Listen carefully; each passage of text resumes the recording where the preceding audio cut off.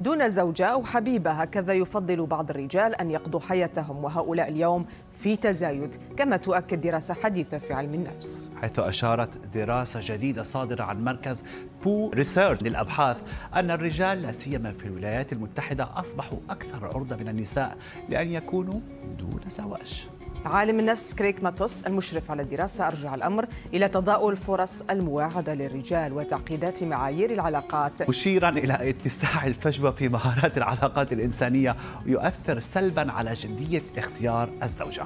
ماتوس نصح الرجال بتحسين مستوى الصحة العقلية لديهم لمعالجة الفجوة في المهارات الاجتماعية. فضلا عن ضرورة الاقتناع أن العلاقة العاطفية أمر يستحق الوقت والجهد من الرجال.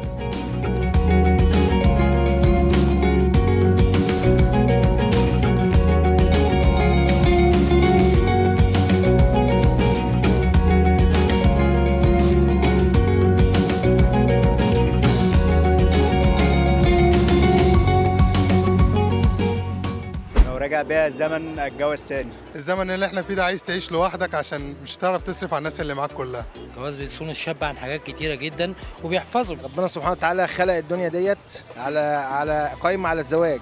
مش ممكن هنتعمر أو يتعمر الأرض إلا بالزواج. والله لو رجع بيا الزمن لورا ما اعملهاش بصراحة ما غلطش الغلطة دي. هل عامل العزلة وقضاء وقت كبير في العالم الافتراضي أو وسائل التواصل الاجتماعي قد يكون السبب في عدم اتخاذ قرارا بالارتباط أو الزواج؟ لا أبدا العزلة موجودة منذ فجر التاريخ يعني. ما لها علاقة ولكن آه، إحنا نتكلم عن ثلاث أسباب. لا, ت... لا يعني لا تندرج تحت بند الرأي ولا وجهة النظر ولا شيء. هي تندرج تحت مبدا المنطق اللي تشوفونه.